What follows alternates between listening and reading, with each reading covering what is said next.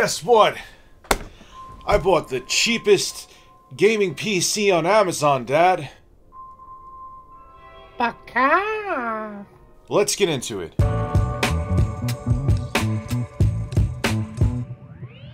Skip it up and that up. Hey everybody, it's the time of year to get crap for your loved ones, and what else would be crappier than getting a cameo for me? For, for me. Come on, man, get get your birds, get your family, get your dad, get your uncle, get your cat, get get the ones you love in your life. A cameo from Review Tech USA. I get paid, it's a third off for the holiday season. I make money, and you get me to say stupid crap. Come on, man, I'm a middle-aged YouTuber with big birds on my table. Who wouldn't want that under their tree? So go get a Christmas cameo from Dad. There's a link below in the description, and I tell you, your loved ones won't regret it. Or maybe they will. I don't know. I don't know. But uh, I'm a, I'm a third off till January 1st, 2023. It's a bargain. Hello, everybody, and welcome to this exciting episode of whatever the hell I'm calling this series. I'm going to call it something. And today, um, excuse me, I need to take some more of my breath spray. No, it will be more minty. Well, anyway, I was thinking of an idea for a wild and crazy video for YouTube. I'm like, let me see what the cheapest, what they consider, I should say, is the cheapest gaming PC on Amazon.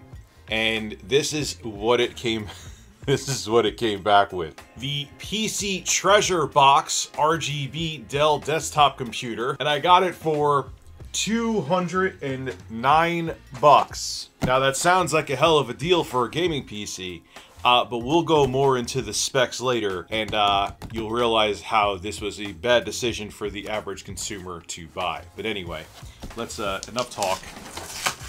How about you? If you know where that's from, we can be friends. How about you? Okay, so we open this up and we have boxception. Ah! Fragile, handle with care. Me with care. The only thing I'm getting, I don't even know if the top camera will focus, is, so I'm gonna put it in front of the front camera, is that it's Microsoft refurbished. I don't really know, okay, that's fine.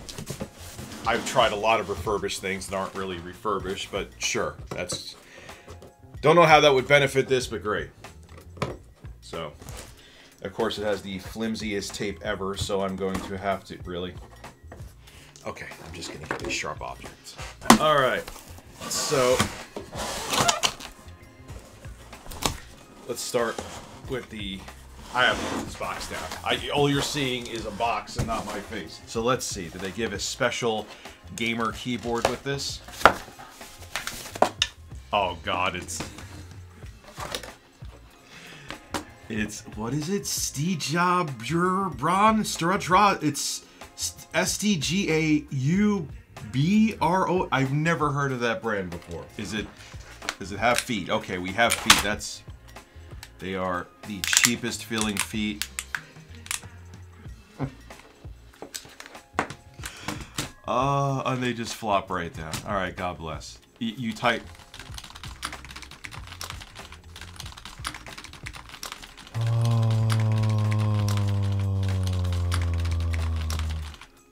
It's fine. It's a typical, average, cheap, knockoff gaming keyboard. Nothing, nothing to see here. So we have. They don't even give a mouse. This is supposed to be like a whole gaming setup. Here's the cord they give. This cord. Oh no, it's not. Um, no, it's not new. It's not new. Here's the cord. Great stuff. Good times. Very excited. Keep in mind you can get an Xbox Series S for $250 as you're watching all this. Just sear that into your skulls. Really? There's no. I, I just don't want to believe there's no mouse here. Wait, wait, wait, wait, wait, wait, wait, wait.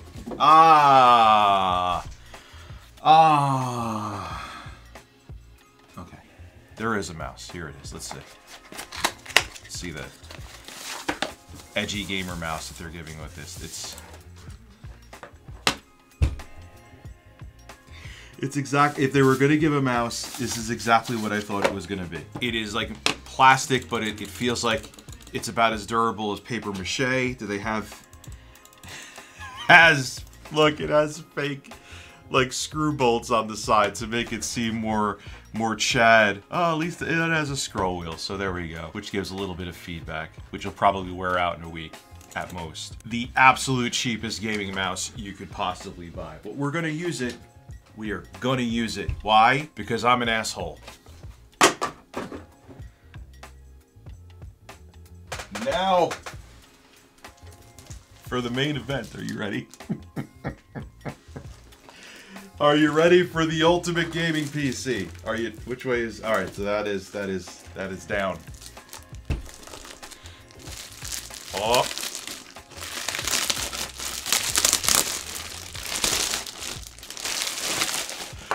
I can't, dude. It's yo. They literally.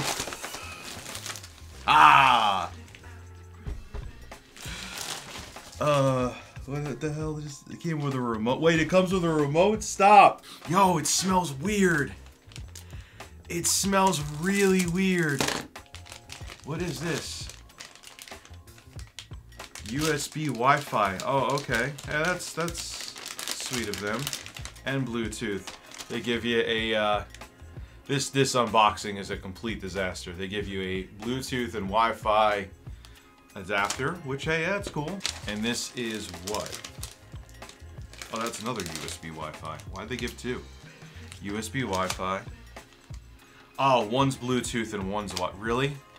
So there's two of the ports already taken up. Okay, whatever. Well, anyway, this is the Dell PC Treasure Box, and someone went to an arts and crafts store, lost their mind, and sprayed it with a bunch of sparkly silver paint. Okay, real quick, I'm an idiot. I forgot to give you the specs of this computer. For a processor, it has the Core i5-4570, which is four cores, four threads, so we're gonna have some bottlenecks there. It has 16 gigabytes of DDR3 memory running at 1600 megahertz, and it has a 512 gigabyte no-name brand solid state drive. So yes, it's a solid state drive, but don't expect fast speeds out of it, like at all. In some cases, it may be like a mechanical drive because it probably has no cache.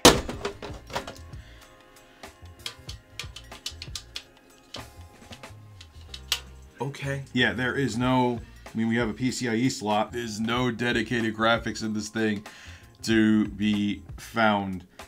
It's literally this is amazing. This is literally just a office gaming PC that they spray painted, put some RGB lights in, and uh, called it a day. And they think that some soccer mom out there. Oh wait, isn't that something mean to say now? It's not politically correct. Oh yeah, soccer mom. Um, I don't care. Is out like, oh my god, look, it's silver. They're gonna just love it, and they're gonna be able to play the Fortnites on here. No, you won't. You will. We're gonna try. We're gonna try. Uh, but I assure you, this is not a uh, Fortnite capable computer. I don't even know if this thing is gonna play CS:GO. Okay, so let's take a look around the back here. You got two display port outs. You have mouse and keyboard PS2 connectors. That kind of shows the age here. VGA output. So if you have an old VGA monitor, you're in luck. You got serial port here two high-speed USB 3.0 ports, four USB 2.0 ports. We have Ethernet here. Don't know if it's gigabit or not. And if you think they're going to tell you that on the website, ha ha, um, might be. And then we have a microphone in and audio out. So, and then you have your power supply with your IEC connector for power there. Very exciting. Um, and it's silver all over. Silver, see? Silver, silver, silver. It's like jewelry that an 80s rapper would wear from their neck. How are they selling this as a gaming PC? Anyway, I'm gonna get it set up now, see its gaming chops, and then uh, let, us have, I don't even know. Let's just have some fun. Let's just go and see where the hell we go with this thing. All right, so here is the cheapest Amazon gaming PC in action. And yeah, it may not even be able to game at 720p with any modern AAA title or almost any game in general. But can your friend's Xbox Series S do this? Get it? The remote, there we go. Look at that. You may, you could sit here and go browse the web in style with LED lights. Because that's what you, who needs video games and you can just change the color of the lights in your PC. Look, ooh, look, it's red now. Like that? oh god, let's go. Let's run benchmarks, that's it. I'm gonna, and look, the keyboard lights up too. They probably spent all of $3 on the keyboard and mouse from wish.com. Look at it, it's lit up. The, the mouse is lit up and the mouse the napkin that I have on my table that you can't see weighs more than it. All right, now it's time for benchmarks. Let's change it to another exciting, more festive color. There we go. I like, I like, I like the purplish blue color. All right, so this is the Unigine Superposition benchmark, and we are running at 720p low. Let, let's see how this performs. Let's go. Will it even start is the question. That's the I got it to start yesterday, but it was a, it was a challenge. I have MSI Afterburner running. I don't know if it's gonna work. All right, Unigine superposition benchmark, uh, 720p low. Can we get it to run this time? With MSI Afterburner on. Here we go. 13 frames a second. 720p low. This is the lowest preset that you could get Ah, on this benchmark. Uh, gaming PC. It's a gaming PC. We are at uh, uh, 10 frames a second. Oh dear God. It's literally a slideshow. I'm actually surprised this is even running at all. Like, we're at nine frames. We are in single, single digit frames, but integrated graphics from a Haswell processor, which is ancient. Um, in a weird way, I'm impressed that this didn't just crash and not run at all. But uh, yeah, it's unplayable. And you can't play a game at 10 frames per second. Hey, so let's try Zombie Army 4. All right, so we don't have the Vulkan option. I don't know. Haswell processors do not support DirectX 12. Uh, so this probably shouldn't run at all. Vulkan is grayed out. Let's let's see. Can we even get this to boot up? Ah. Ah. No. Okay. Man, this is an awesome gaming PC. Oh wait, we got a we got a crash report here. Let me see what it says. I can't see from this far away. Unfortunately, Zombie Army 4 has encountered a problem. Well, no shit. All right, let's try Shadow of the Tomb Raider. Can we do, does that have a DirectX 11 mode? If it's DirectX 12, it's not gonna happen with Haswell. Oh dear God. All right, it's, it's, it's loading up the game. I'll give it the benefit of the doubt. I don't think, we'll find out. Does Shadow of the Tomb Raider have a DirectX 11 mode? I'm, kind of hoping so, because it won't run if it, if it doesn't. Yes, I'm sipping coffee. Deal with it. So Shadow of the Tomb Raider, lowest settings, 720p, DirectX 11, Let's go. Oh man, we are in the title screen, which is actually in-game visuals. It's not pre-rendered. We are at 9 FPS right now. Again, the absolute lowest settings you could possibly get. Let's go to display and graphics. Oh man. Uh, yeah, 720p. Maybe if we turn down the resolution, let's turn down the resolution scale. Come on, let's go. Can we, let's go to the lowest resolution scale we could possibly get, dude. and we're still, all right, you know what? I'm gonna give it a fighting chance. I'm gonna give it a fighting chance. So VSync is off, anti-aliasing, anything that could be taxing, off, off. What is it, E to apply changes? Okay.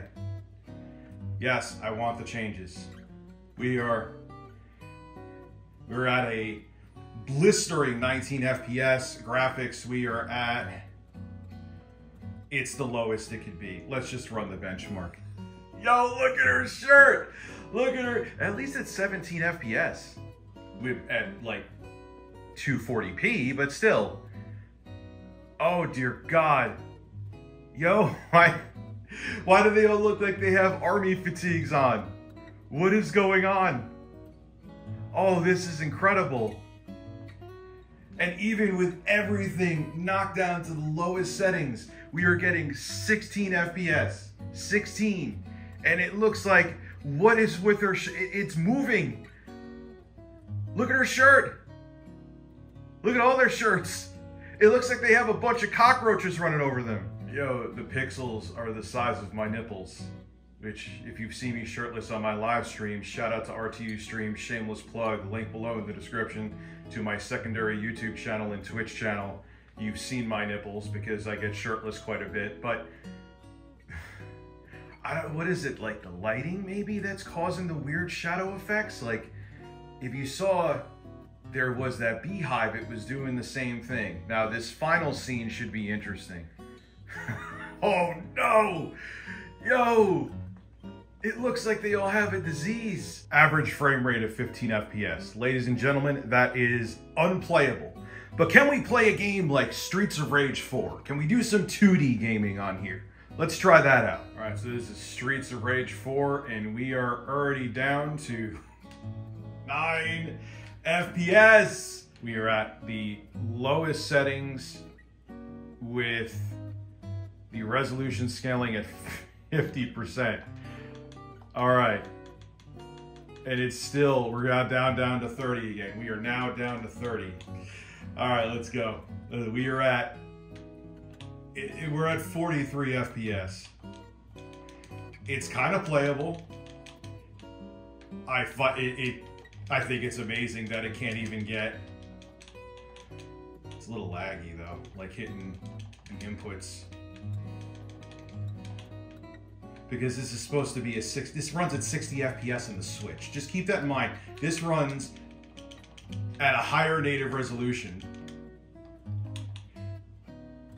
at 60 FPS on Nintendo's semi handheld console. Here we could barely get 50. It can't even play a Streets of Rage game. So let's try something else. Let's try an old banger. Let's try Half Life 2. Can the Liberace machine, the Liberace gaming PC, play Half-Life 2? Let's find out. All right, now we're in some combat in Half-Life 2. And I'm sucking terribly right now, but besides for that, blow these up so I'm not we're staying above like 90, goes down to 80 FPS a couple times. And I just hurt myself, I think. Yes, I did. All right, so Half-Life 2, 1080p, medium slash high settings. It's very playable, but this is a direct X9 game from 2004, so it better be. Oh look, I'm out of bullets, and I need to break through these without killing myself. Okay, here we go. All right, Half-Life 2 is playable, but a potato can run Half-Life 2. This is not a gaming PC. I'm, I'm, I'm done with this thing. Now, let's bring this review home. Why are you not dying? Okay, so literally, as I sat down to record the final part of my review of this PC, someone sent me a text message and said, Hey, Rich, it looks like Linus Tech Tips had the same idea, and he got the same exact computer from Amazon and reviewed it. Alright, so beyond that, you saw the results. Games, any AAA game, if it even does run, runs at single digits or low teens. The only game that was truly playable was Half-Life 2 and I guess you could say Streets of Rage 4, but in my opinion it wasn't because it wasn't maintaining 60 FPS. This isn't a gaming PC. This is literally just an office computer that they bought in bulk, probably for 50 bucks each. They spray painted them, they put cheap LED lights in them, and they said, hey, we could flip these for a little bit over 200 bucks. This is $209 you could buy an Xbox Series S for about 40 to 50 bucks more that could play everything AAA right now and will absolutely destroy this. It has eight. I can't even measure how much more power it has than this. But I'll end with a silver lining, not because this is silver. Can I make this into a gaming PC? I got something on order that we could turn this around and make. I'm going to call it the Liberace machine. Can we turn the Liberace machine into a gaming beast? No, but we can make it actually play AAA games. And it'll still be silver and cool looking. Stay tuned for part two. Goddamn Linus Tech Tips.